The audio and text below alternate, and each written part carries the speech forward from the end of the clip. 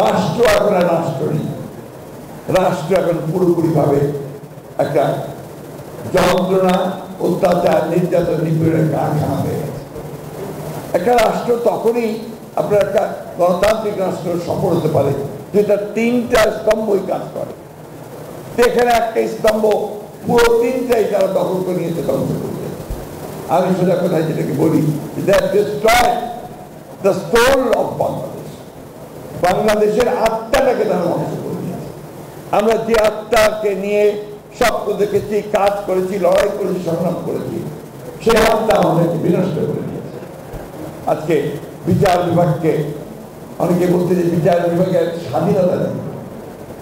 আমি তো বলি যে বিচার বিভাগের স্বাধীনতা আছে কি নেই তা জানি না। যারা বিচারক তারাই সকাল এই স্বাধীনতাটাকে দমন করতে আমাদের সাংবাদিক ভাইরা আছেন তারা খুব ভালো করে জানেন যে তাদের যারা কালিগস যারা সহকর্মী, বড় বড় পত্রিকার এডিটার বড় বড় চ্যানেলের এডিটার তারা আজকে কি ভূমিকা পালন করছেন। আমাদের চেয়ে তারাও কম জানে না। আমি লজ্জা পাই। যখন টেলিভিশনে দেখি, তাদের কয়েকজন কথিত যশা, সম্পাদক এবং আপনার বিভিন্ন সাংবাদিক প্রতিষ্ঠানের কর্মকর্তা, তারা যখন এই ভয়াবহ অত্যাচার নির্যাতন গণতন্ত্র হত্যার যে কর্মযজ্ঞ তাকে সমর্থন করে কথা বলে। এটাই এখন হয়েছে। আমাদের কথা বাদ দেন। আমরা তো রাস্তার কর্মী মাঠ কর্মী। মাঠের মধ্যে লড়াই করি যুদ্ধ করি আহ, জেলে যাই কাকা যাই আমাদের অনেকের ফাঁসিও হচ্ছে। গত কয়েকদিন আগে আপনার আমাদের ঈশ্বরটি প্রায় পঞ্চাশ জন নেতা কর্মী।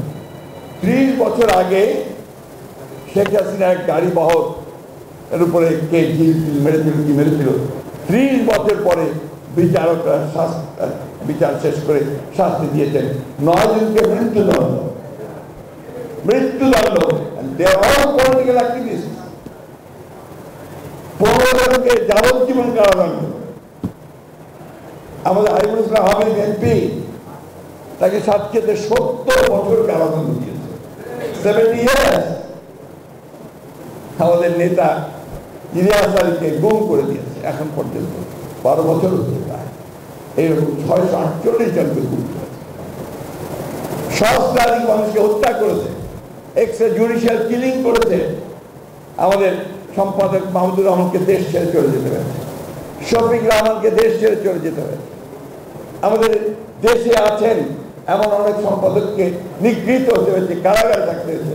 ওই যে গাড়ি সাহেব বসে আছেন এখানে, প্রায় আঠেরো মাস, অন্যান্য সবাই আছেন দু মাস, তিন মাস এই একটু আগে একজন সাংবাদিক, তিনি একটু আগে আমার সঙ্গে দেখা করলেন যে মাস খানেক আগে সম্ভবত তাকে গ্রেফতার করে নিয়ে গেছিল এক মাস জেল থেকে কতগুলো বলব, কার কথা বলব? অত্যাচার, নির্যাতন এমন একটা পর্যায়ে চলে গেছে যে এখান থেকে বেরিয়ে আসার জন্য যদি আমরা সবাই মিলে একজোটে লড়াই না করি, সংগ্রাম না করি, তাহলে থেকে কীভাবে বেরোবো আমি নিজেও বুঝতে পারি না। সে কারণে আমি বলি, বারবার যেটা বলে আসছি আমরা, আমাদের দল থেকে আমরা বলছি যে এখন জাতীয় ঐক্য দরকার সমগ্র মানুষগুলোকে এক হতে হবে আজকে কোন দলের কি হলো না হলো এটার বিষয় নয়। আজকে তো আমার জাতি ধ্বংস হয়ে যাচ্ছে। আমি আমার জাতির অস্তিত্ব আজকে বিপন্ন হয়েছে।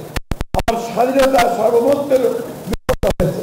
আজকে তাকে করতে হলে গণমাধ্যমকে এককভাবে সুরক্ষা করলে আমি কিছুই করতে পারব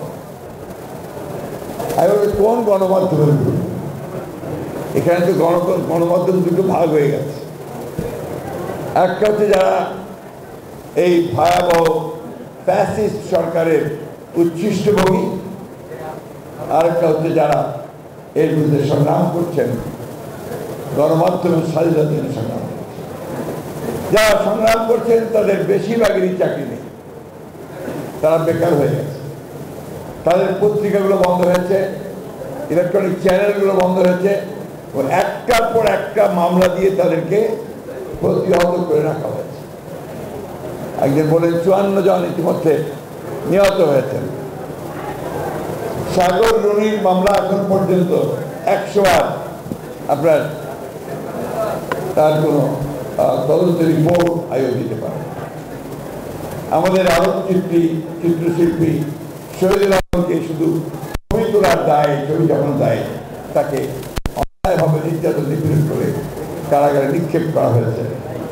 আমাদের সাংবাদিক ভাইদেরকে তুলে গুম করে গুম করে দিয়ে তাদের অনেককে আবার সাত আট মাস পরে ফেরত দেওয়া হয়।